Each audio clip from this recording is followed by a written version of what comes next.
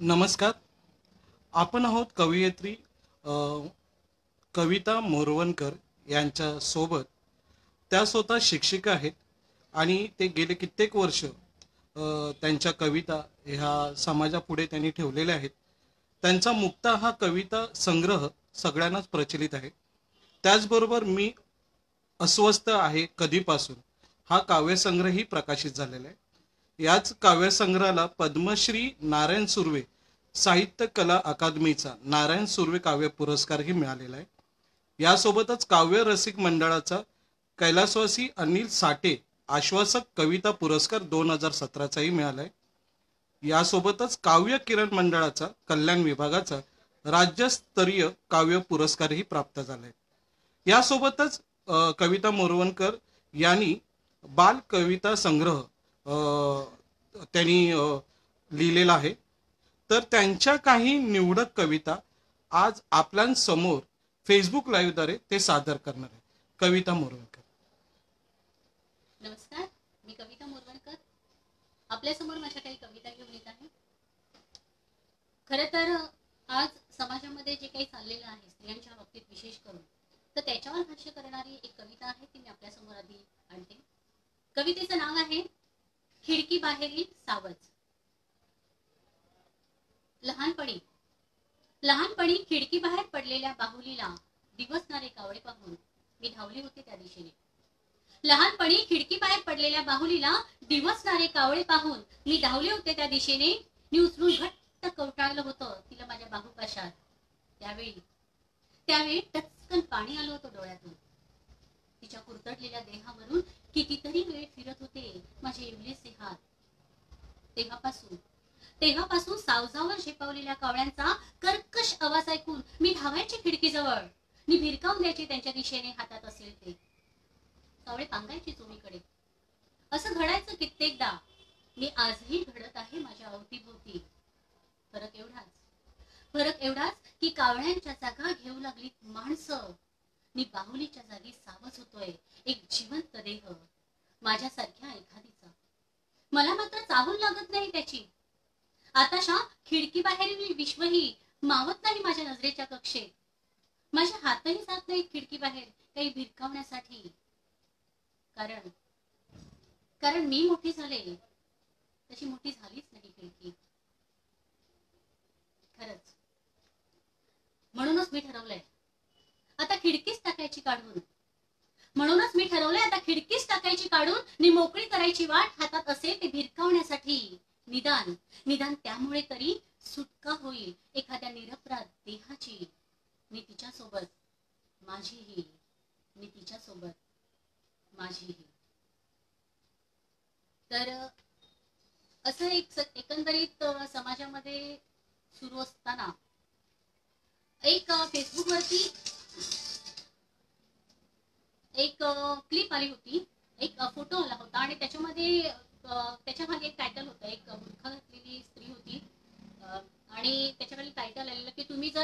असं एखाद्या विशिष्ट रंगाचा जर स्कार्फ घातला तर तुमच्यावरती कोणाचीही वाकडी नजर पडणार नाही. आता हे जेव्हा मी वाचलं तेव्हा माझ्या डोक्यामध्ये आलं की असं कसं काय होऊ शकतं? आणि तेव्हा मला ही कविता सुचलेली आहे. ती कविता आपल्यासमोर मी आणते. कवितेचं नाव आहे काय फरक पडतो?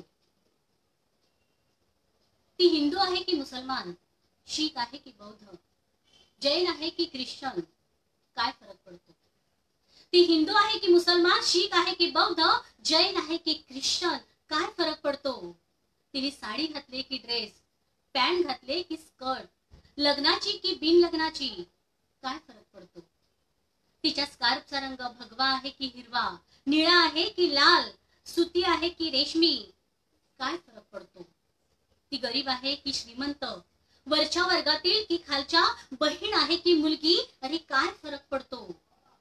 ती नोकरी करते की गृहिणी. सोजवळ आहे की बिनधास्त. तरुण आहे की वयस्कर. काय फरक पडतो? खर तर खर तर काहीच फरक पडत नाही ती कोण आहे कशी आहे याच्याने.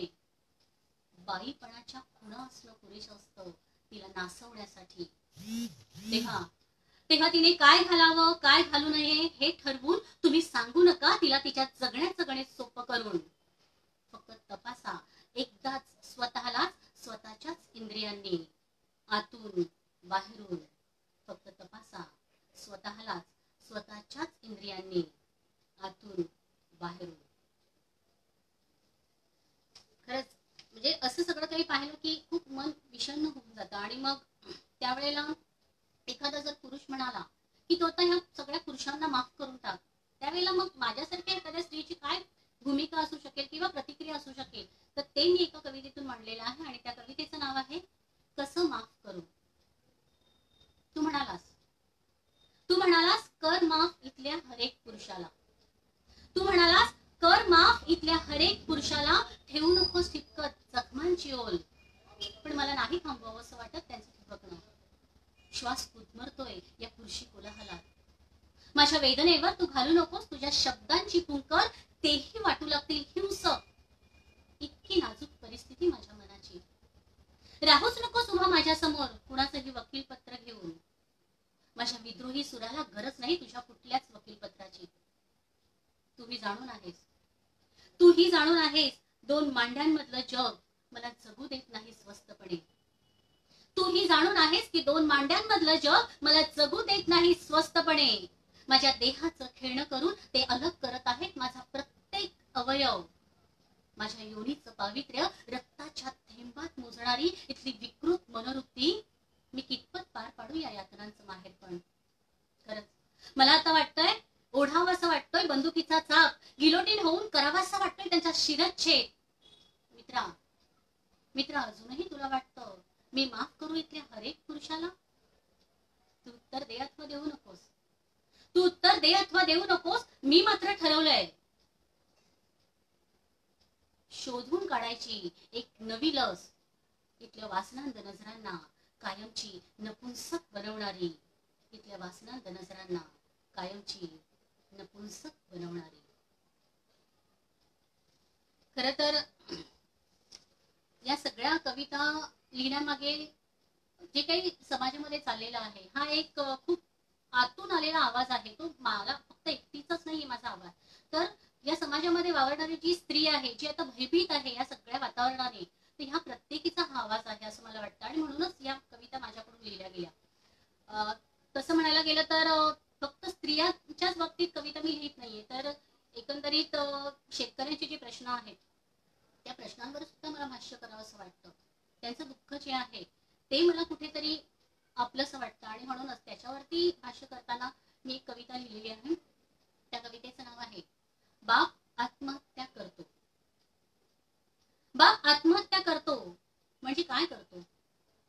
बाप आत्महत्या करतो म्हणजे काय करतो? तो थांबवतो शरीराची क्रियाशीलता.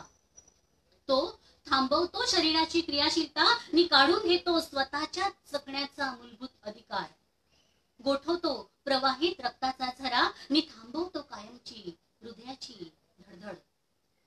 बाप बाप आत्महत्या करतो म्हणजे तो रचून जातो स्वतः बरोबरच घरच्यांच्या चिता नि खोलवर रुजवतो. प्रश्न सुटले नाही की संपवायचं असतं स्वतःला. बाप पुरवतो. बाप पुरवतो प्रसार माध्यमांना ऑक्सिजन बाप पुरवतो प्रसार माध्यमांना ऑक्सिजन बाप होतो विषय चर्चेचा आणि राजकारणांच्या तुडुंब गर्दीचा बाप वाढवतो दोरखंड कीटकनाशक नाशकांचे भाव. बाप वाढवतो दोरखंड कीटकनाशकांचे भाव मी सांगून जातो मरणाचा स्वस्त झालाय डाव. बाप आत्महत्या करतो म्हणून त्याला कोणी म्हणत नाही शहीद. बाप आत्महत्या करतो म्हणून त्याला कोणी म्हणत नाही शहीद. आत्महत्या या नावानेच त्याची नोंद होते वहीत नाहीच मिळत मृत्यूला त्याच्या कुठलाही दर. नाहीच मिळत मृत्यूला त्याच्या कुठलाही दर आणि कुठल्याही आश्वासनांनी भरतही नाही घर. तेव्हा तेव्हा हे माझ्या बापा जगाच्या पोशिंद्या तेव्हा हे माझ्या बापा जगाच्या पोशिंद्या तुला तुझ्या आत्महत्येवर पुन्हा एकदा विचार करायला हवा. तुला तुझ्या आत्महत्येवर पुन्हा एकदा विचार करायला हवा. अशीच वेळ आलेली आहे आज की खरंच ह्या पोशिंद्याने आत्महत्या करण्यापूर्वी म्हणजे कुठलाही एक चुकीचा निर्णय घेण्यापूर्वी आपल्या घरच्यांचा थोडासा विचार करावा असं मला मनापासून वाटतं आणि म्हणूनच ही कविता लिहिली गेली. आता नुकताच पाऊस येऊन गेलेला आहे आणि एक स्त्री म्हणून पाऊस न पडण्याचे जे काही एक पाऊस पडला नाही तर काय वाटू शकतं एखाद्या स्त्रीला? तर त्या भावना आहेत त्या स्त्रीच्या भावना आहेत त्या मी या कवितेत मांडण्याचा प्रयत्न केलेला आहे. आणि कवितेचं नाव आहे कोसळणाऱ्या आभाळाचं प्रतिबिंब. तिने ठरवलं. तिने ठरवलं उसवायची आभाळाची उसवण. तिने ठरवलं उसवायची आभाळाची उसवण नि कोसळू द्यायचं त्याला सैरभैर. मोसम सरला तरी नाहीच थांबवायचं त्याच्या उधाणलेपणाला. आपणच व्हायचं जमीन नि मनसोक्त वरपून घ्यायच्या सरी भूगर्भात आरपार. चिंब भिजून जायचं अति चिकचिकीत होईपर्यंत. आपणच पसरायची त्याची पाय चौफेर. नि झिरपत जायचं वाट मिळेल तिथे. नदी तलाव धरण साऱ्या साऱ्यांना करायचं तृप्त. येऊ दे महापूर. येऊ दे महापूर होऊ दे प्रलयांकित संहार. वाहून जाऊ दे घराच्या भिंती उन्मळून पडू दे. तरुलता नाहीच करायचा आक्रोश बिंबीच्या देठापासून. फक्त फक्त पेरत जायचे अपेक्षांचे बीज. फक्त पेरत जायचे अपेक्षांचे बीज फुटू द्यायचे धुमारे रंध्रारंध्रात. घट्ट आधार द्यायचा. मातीला चिरून उभारी घेणाऱ्या रोपाला कदाचित कदाचित त्या रोपालाच येथील करुणेची असंख्य फुलं. कदाचित त्या रोपालाच येथील करुणेची असंख्य फुलं नि बांध घालतील त्याच्या उधानलीपणाला तोपर्यंत तोपर्यंत उसवतच राहायची आभाळाची उसवण. तोपर्यंत उसवतच राहायची आभाळाची उसवण नि कोसळू द्यायचं त्याला सैरभैर. ती करत राहिली. ती करत राहिली असा अनैसर्गिक विचार कित्येक दिवस कित्येक महिने तो नाहीच आला मात्र मात्र तिच्या डोळ्यांची उसवण केव्हा उसवली हे तिचं तिलाच कळलं नाही. मात्र तिच्या डोळ्यांची उसवण केव्हा उसवली हे तिचं तिलाच कळलं नाही. आता ती त्यातच पाहते कोसळणाऱ्या आभाळाचं प्रतिबिंब. निचिंब भिजून जाते. आतून बाहेरून निचिंब भिजून जाते. आतून बाहेरून. रसिक हो यानंतरची जी कविता मी वाचून दाखवणार आहे ती आत्ताच जे एक सामाजिक वातावरण एक गढूळ झालेलं सामाजिक वातावरण आहे त्याला कुठेतरी अं, एक म्हणजे दूषित जे वातावरण झालेलं आहे याला एक पारदर्शक करण्यासाठी ही कविता मी लिहिली गेली लिहिलेली आहे. तर मी तुम्हाला ती कविता आपल्यासमोर वाचून दाखवते आता. येऊ लागले मोहर. झिम्माड पाऊस कोसळतोय बाहेर. झिम्माड पाऊस कोसळतोय बाहेर. माझ्या यात गच्च भरलेलं सरींचं गाठोडं सुटत चाललंय हळूहळू. ही कोणती उदासीनता भाग पडते त्यांना बरसायला? हल्ली वर्तमानपत्रातील बातम्यांनीही ओलावतो माझ्या डोळ्यांचा काठ. इतका तिखट असतो का बातम्यांचा बातम्यातील पात्र्यांपैकी कुणाशी तसं नसतंच माझं रक्ताचं नातं. तरीही तरीही येतातच बाहेर पाऊस झाला. या अशा दुःखाच्या खपल्या काढून सुखाचं चांबडं लावता आलं असतं तर सर्वांगावर? मनालाही आला असता बघ हरेक ऋतूत पण हल्ली होतंय कुठे मनासारखं? साऱ्याच ऋतूंना येऊ लागलाय मोहर द्वेषांच्या फुलांचा आपण ही फुलंच फोडून टाकली तर येतो मनात असा संवेदनशील विचार नि मी सुरुवात करते. माझ्यापासून. माझ्याच मनात फुललेल्या फुलांपासून. माझ्याच मनात फुललेल्या फुलांपासून. खर तर ही द्वेषाची जी भावना आहे ती प्रत्येकाने आपल्या मनातून अशी खुडून टाकली पाहिजे हद्दपार केली पाहिजे.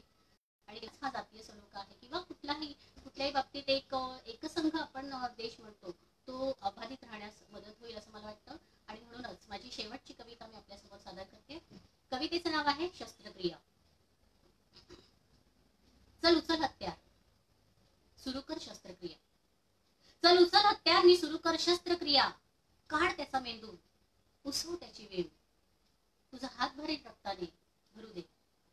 तुझा हात भरेल रक्ताने भरू दे. कससच वाटेल तुला वाटू दे. थंडगार पडेल तुझं शरीर पडू दे. आपल्या हातून काहीतरी चुकीचं घडतंय असंही वाटेल तुला. वाटू दे. समज. समज की आपली नाळ अजूनही जोडली गेली आहे माणुसकीशी. मग धर सर्व भाग पाण्याखाली वाहून जाईल सार रक्त. मी त्याचबरोबर खोलवर रुजलेले रूढी परंपरांचे विषाणूही. तू शोधशील. तू शोधशील रक्ताचा वेगळा रंग पण नाही सापडणार तुला. लाल रंगाशिवाय कोणताही वेगळा. तुझे हातही होऊन जातील. पूर्वीसारखे स्वच्छ. आता सर्व भाग एकत्र कर. जोड त्यांना अलगदपणे तयार होईल पूर्वीसारखाच मेंदूचा आकार. बसव त्याला जिथे होता तिथे. मी वाट बघ त्याच्या शुद्धीवर येण्याची. तो शुद्धीवर येईल तेव्हा त्याला आठवणार नाही पूर्वीचं काहीच. तो शुद्धीवर येईल तेव्हा त्याला आठवणार नाही पूर्वीचं काहीच. तो विचारेल तो विचारेल त्याचं नाव त्याची जात त्याचा धर्म तेव्हा निसंकोचपणे सांग त्याला. त्याचं नाव माणूस. त्याची जात माणूस त्याचा धर्मही माणूसच. खरंच.